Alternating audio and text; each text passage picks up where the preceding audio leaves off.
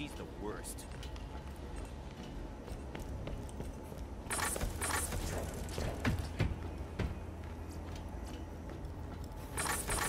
Hey, uh, so I'd escaped, but I may have uh, dropped my key card and uh, and a stalker ate it.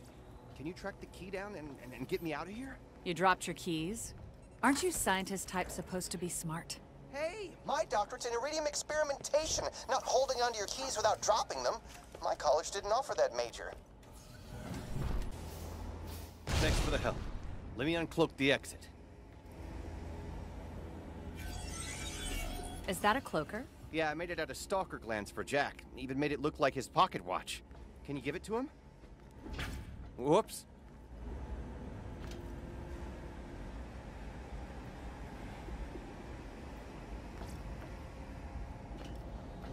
Nice one.